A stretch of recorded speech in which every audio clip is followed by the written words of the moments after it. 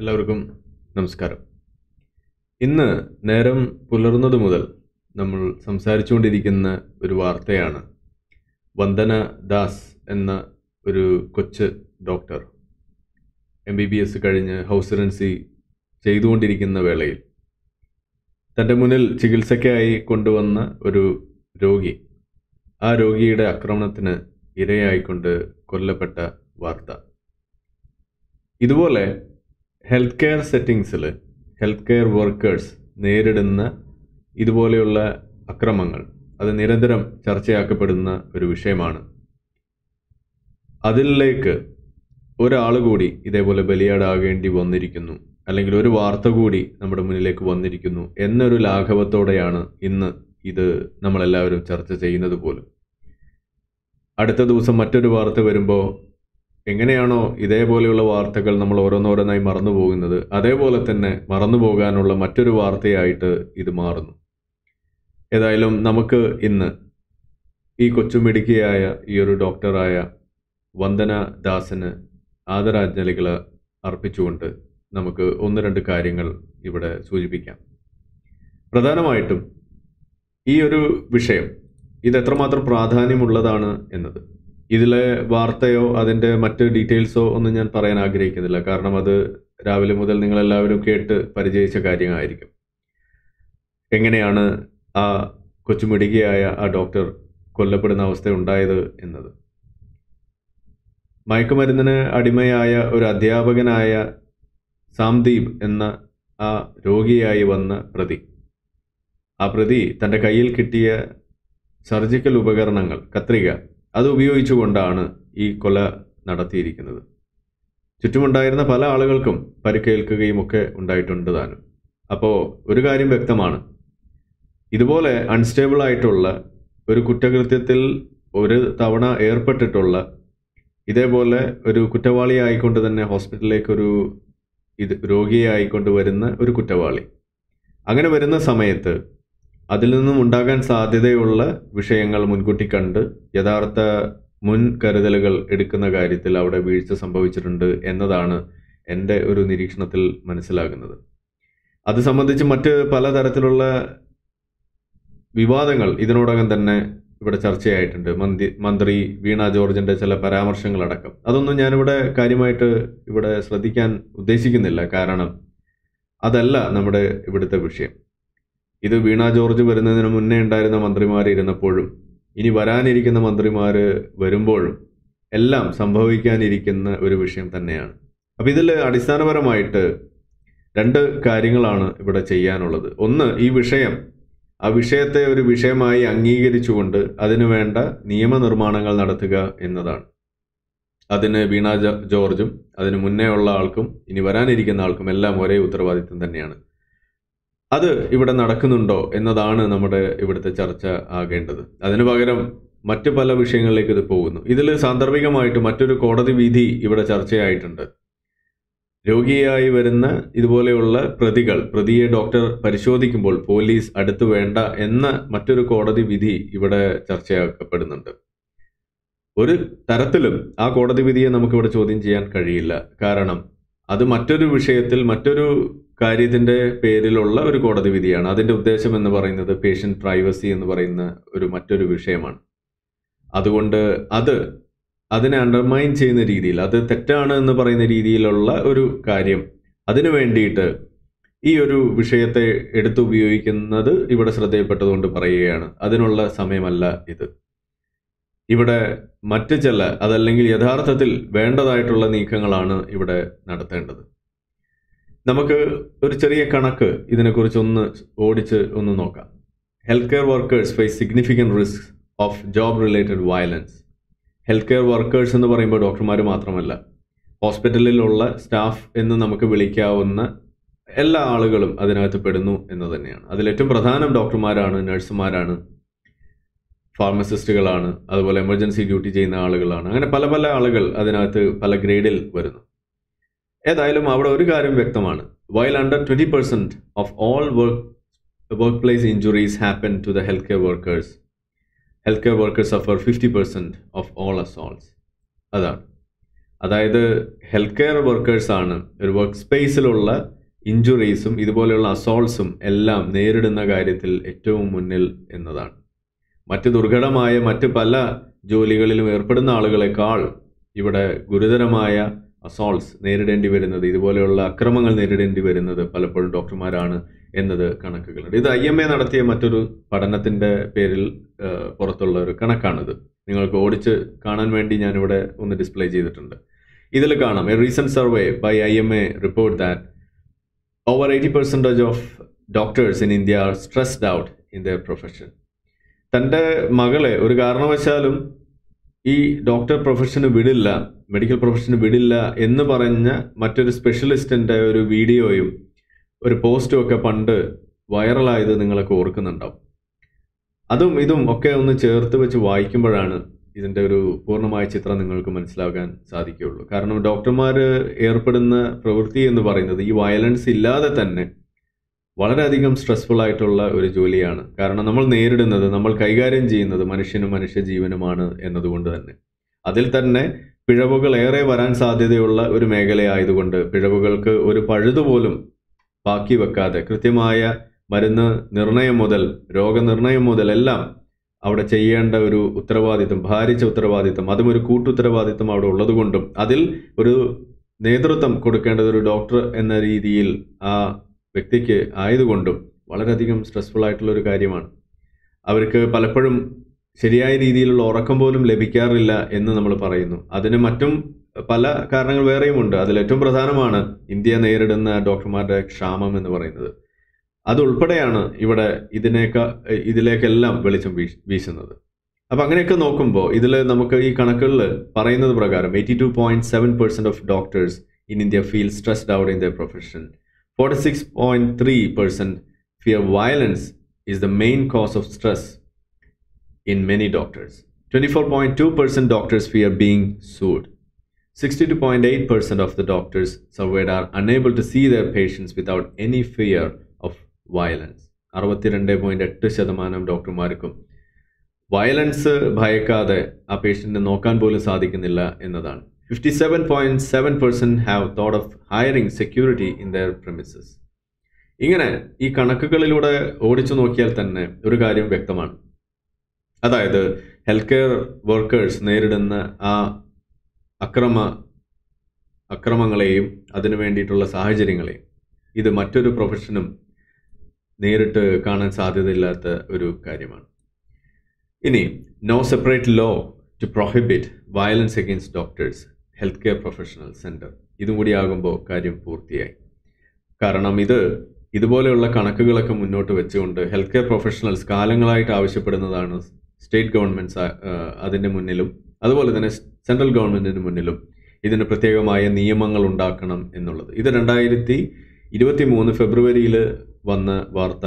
അതിന്റെ അടിസ്ഥാനത്തിൽ നമുക്ക് മനസ്സിലാക്കാൻ സാധിക്കുന്നത് വേണ്ട അങ്ങനെ ഒരു നിയമം വേണ്ട എന്നതാണ്. രണ്ടായിരത്തി പത്തൊമ്പത് മുതൽ ഇത് ഒരു നിയമനിർമ്മാണം മുന്നിൽ ലക്ഷ്യം വെച്ചുകൊണ്ട് ഇതിനു വേണ്ടിയിട്ടുള്ള ചർച്ചകൾക്ക് തുടക്കം വെച്ചു എന്നുണ്ടെങ്കിലും അത് ഇതുവരേക്കും അവിടെ ഒരു നിയമമായി വരുന്നതിലേക്ക് എത്തിയിട്ടില്ല എന്നതാണ്. അവിടെയാണ് മറ്റ് ചില രാജ്യങ്ങൾ ഇവിടെ നമുക്ക് മാതൃകയാവുന്നത്. അതിൽ ഏറ്റവും എടുത്തു പറയേണ്ടത് നേപ്പാളാണ്.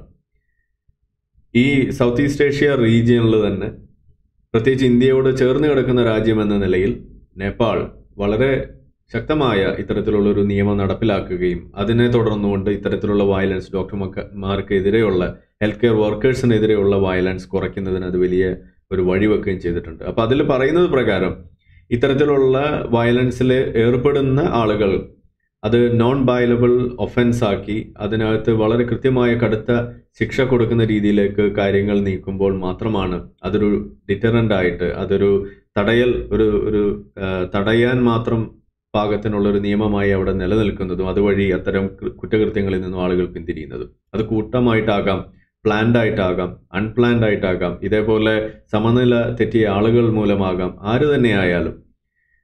അത് അവിടെ പിടിക്കപ്പെടുന്നു എന്നും അത് ശിക്ഷിക്കപ്പെടുന്നു എന്നും അവിടെ ഉറപ്പുവരുത്തുന്നത് വഴി തന്നെയാണ് ഇത്തരത്തിലുള്ള വിഷയങ്ങൾ സമൂഹത്തിൽ സംഭവിക്കുന്നത് തടയാൻ സാധിക്കും.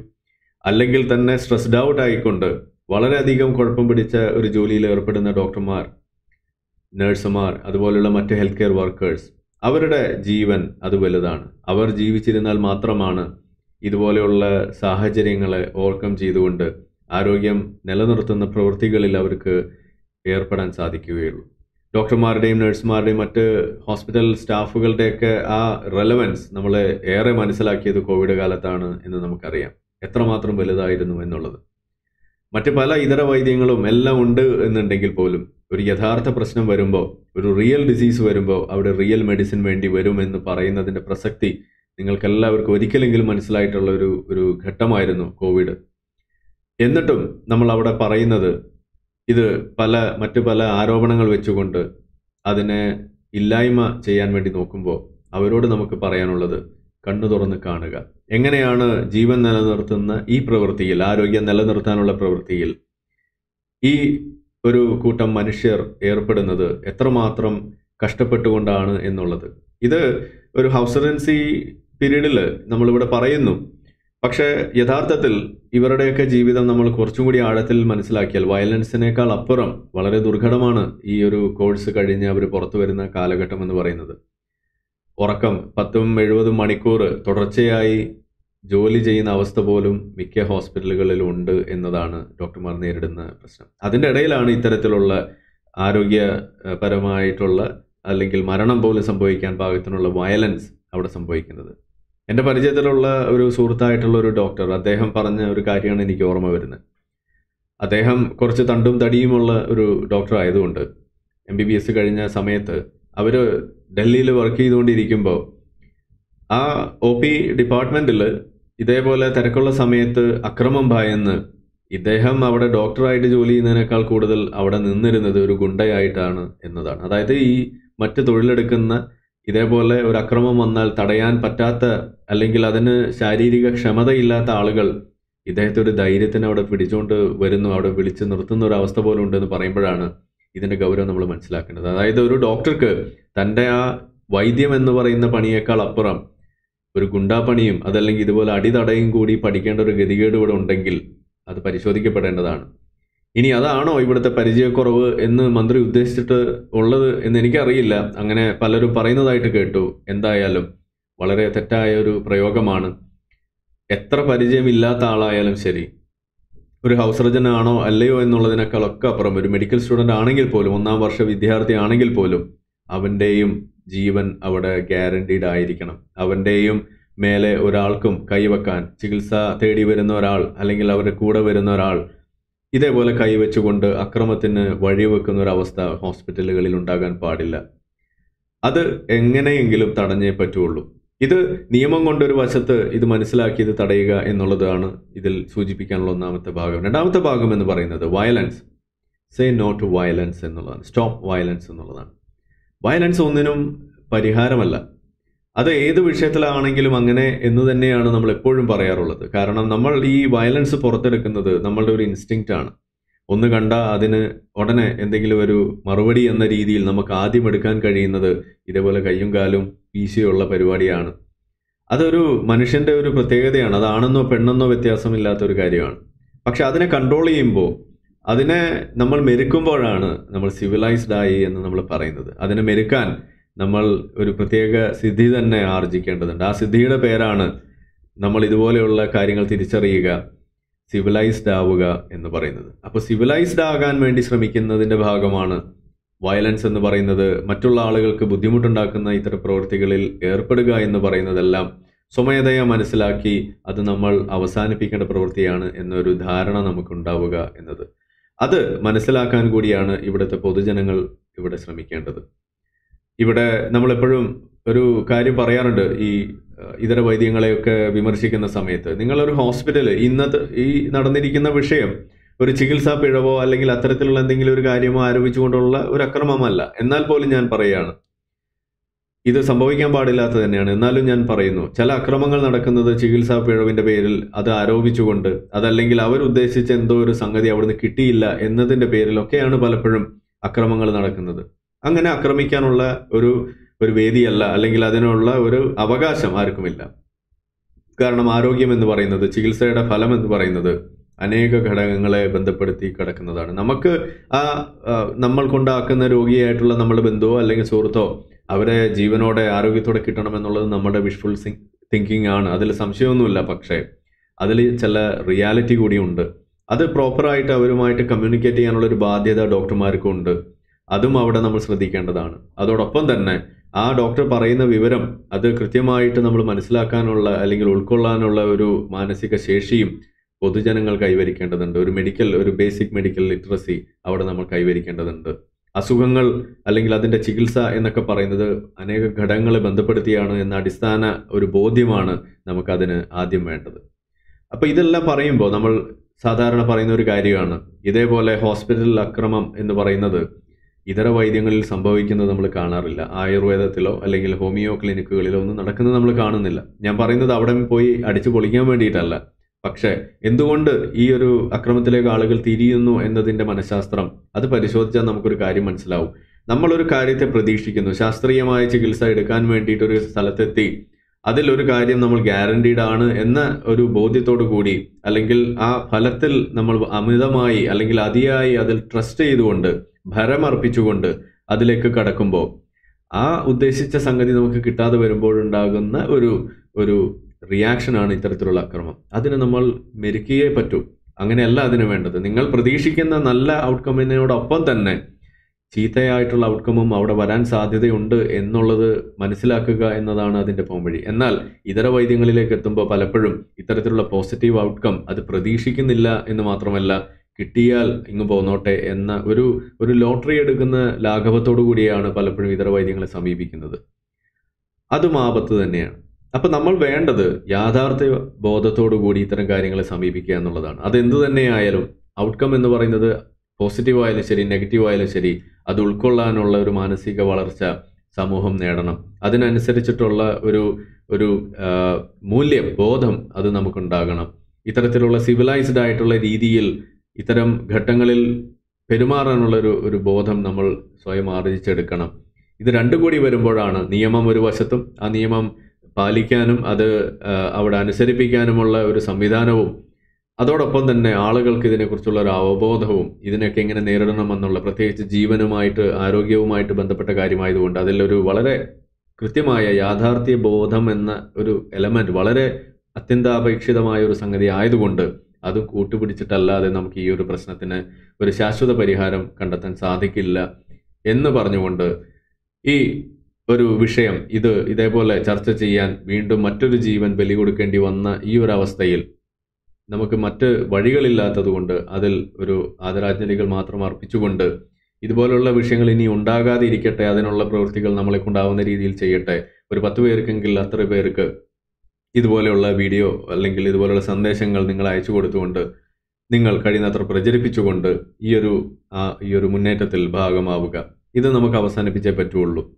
നേപ്പാളിന് ഇന്ത്യയ്ക്ക് മാതൃകയാകേണ്ടി വന്നിട്ടുണ്ട് എന്നുണ്ടെങ്കിൽ ഈ ഒരു റീജിയനിൽ അതല്ലെങ്കിൽ ഇന്ത്യയിൽ മൊത്തത്തിൽ തന്നെ കേരളത്തിന് ഈ ഒരു വിഷയത്തിൽ ഒരു മാതൃകയാകാൻ സാധിക്കണം എന്ന് തന്നെയാണ് എന്റെ ഒരു ആത്മാർത്ഥമായ ഒരു ആഗ്രഹം. അതിലേക്ക് കാര്യങ്ങൾ നടക്കട്ടെ. അതിനു വേണ്ടിയിട്ടുള്ള കൂട്ടായ പ്രവൃത്തികളിൽ നമ്മൾ ആവുന്ന രീതിയിൽ സഹകരിക്കാൻ മാത്രമേ നമുക്കിപ്പോൾ സാധിക്കുകയുള്ളൂ.